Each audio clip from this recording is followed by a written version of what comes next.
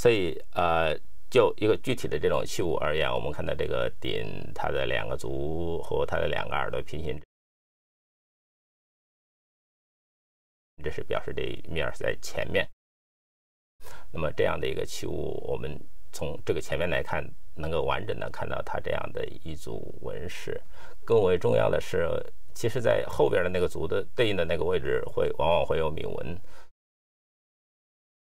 所以，一个圆形的器物往往是分前和后。呃，这件鼎本身它也刚好有一个呃铭文在上面。这个铭文是在商周这个时期，中国青铜时代这个时期，呃，有很多写者是为代表族徽的一种东西。啊，从呃一个呃装饰的这个角度来说，我们可以看到，呃。这个鼎的装饰，它实际上是经过了接近有一千年的这样的一个发展，所以它的这种装饰显得很呃精细。它有我们能看到，其实有不同的这样的一个层次。从一个啊，给你一个第一个印象来看，这个它有一个类似于呃一个一个兽的兽面。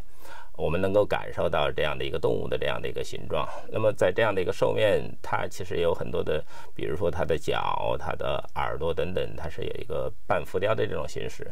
那么，我们可以看到的是，在这个半浮雕的呃上面还有很细的这样的纹饰。那么，在浮雕的地纹下面，在这个平面上面也有很多的纹饰。所以这样的话呢，给你在一个呃装饰的这个感觉上，它有它有这样的在呃器物的。